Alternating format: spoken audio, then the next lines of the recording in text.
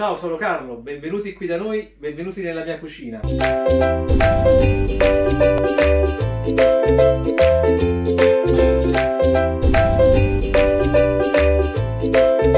Ed ora un grande classico della cucina romana. Facciamo oggi un bel piatto di pasta alla matriciana. Iniziamo col guanciale, lo tagliamo a fettine.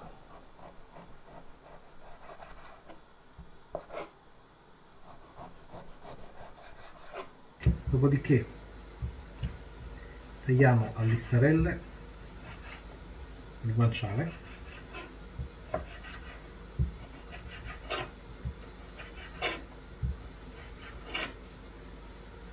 Iniziamo ora con una bella padella di ferro a sciogliere solo il guanciale.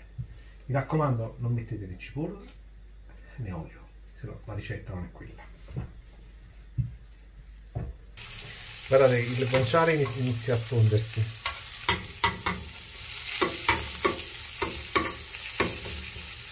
Ho abbassato la fiamma per farlo fondere senza bruciare, si deve incroccantire. Una volta che è che i vari pezzettini sono diventati croccanti lo togliamo lo lasciamo, lo lasciamo asciugare su okay, un po' di carta assorbente per la nostra pasta matriciana utilizziamo un pelato cirio pelato che deve essere rigorosamente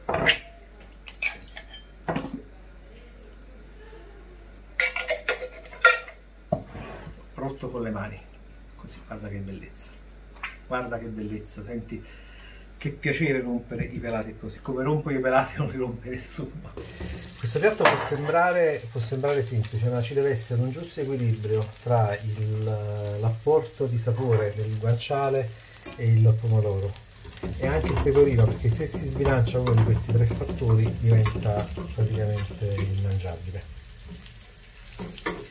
La padella deve essere di ferro, perché nella padella di ferro il guanciale si scioglie non si attacca ed è, comunque sempre buono. Ci sono varie ricette c'è chi ci mette l'aceto io sono un purista non ci metto niente. Guardate, guardate il grasso che si sta sciogliendo nella padella questo è tutto grasso suo non ho aggiunto nessun valore come direbbe qualcuno è tutto grasso che cola cosa meglio di un buon lambrusco per accompagnare questo piatto il lambrusco ci sta benissimo perché il, la matriciana è un piatto leggermente grasso di base.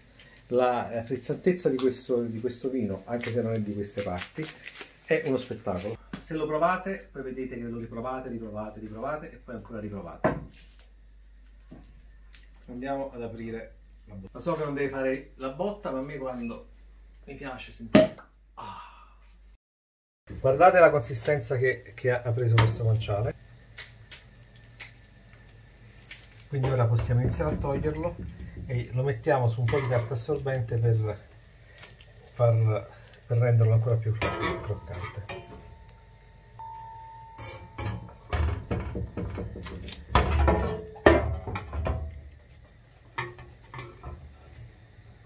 guardate la padella di ferro come trasmette bene il calore viene usata per questi piatti ma soprattutto anche per fare le fritture io qualche pezzettino sono solito lasciarlo all'interno della, della matriciana, anche se si ammolla per dare un po' più di sapore. Ed ora alziamo un po' la fiamma e mettiamo il pomodoro. Guardate come sta diventando cremoso il sugo. Abbiamo preso un po' di acqua di, di cottura della pasta per diluirlo un po' per renderlo ancora più cremoso in attesa della sua spusa. Il sugo Sta aspettando la pasta la sua sposa. Ragazzi, la cucina italiana è la migliore cucina del mondo. Su questo non dobbiamo avere dubbi.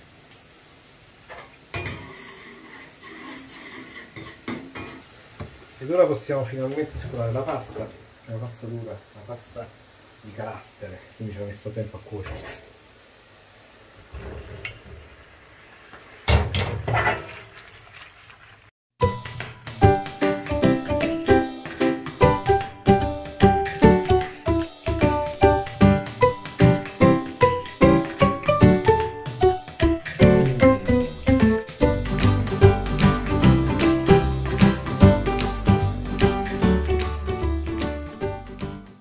Dimentichiamoci che c'è anche questo guanciale. Mettiamo un bel piatto di pasta. Così. Io sono un po' scostumato nelle porzioni. Mi piace il piatto pieno.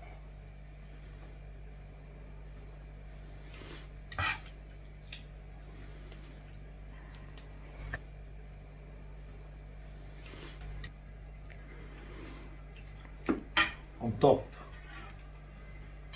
una bella pioggia di guanciale tritato buon appetito